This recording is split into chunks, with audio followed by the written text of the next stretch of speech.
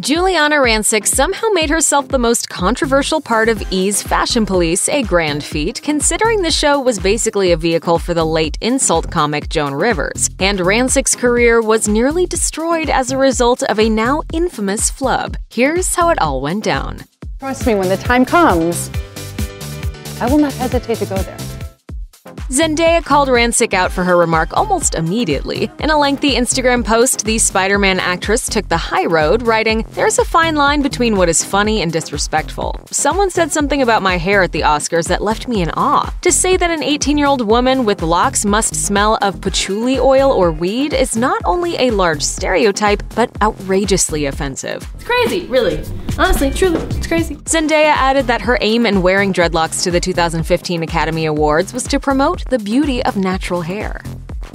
After receiving backlash from Zendaya and almost the entire internet, Rancic finally apologized, tweeting, Dear Zendaya, I'm sorry I offended you and others. I was referring to a bohemian chic look, had nothing to do with race and never would. Rancic also made a statement on E admitting that her comments crossed the line. I didn't intend to hurt anybody, but I've learned it is not my intent that matters, it's the result. She acknowledged that many people were indeed offended, Zendaya included, and added, I want to say to Zendaya and anyone else out there that I have hurt that I am so, so sincerely sorry. Rancic also promised to not perpetuate stereotypes. Zendaya graciously accepted the apology, posting to Insta Giuliana, I appreciate your apology. I hope that others negatively affected by her words can also find it in their hearts to also accept her apology as well. But not everyone was so quick to forgive. One of Rancic's biggest critics was her own Fashion Police co host Kelly Osbourne. Initially, Osbourne tweeted that she didn't want to get involved with the drama, but that didn't last long. I can't even put that into words. Kelly tweeted, I did not make the weed comment. I do not condone racism, so as a result of this, I'm seriously questioning staying on the show. Osbourne quit Fashion Police soon after the incident.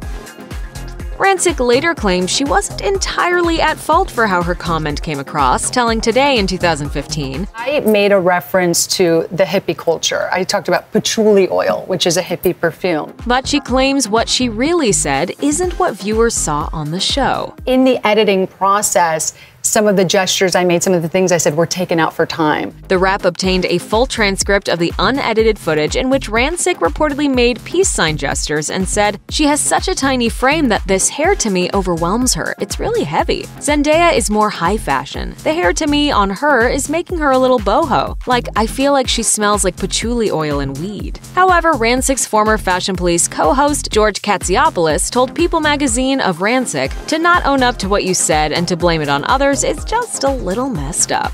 It seems a little bit disrespectful.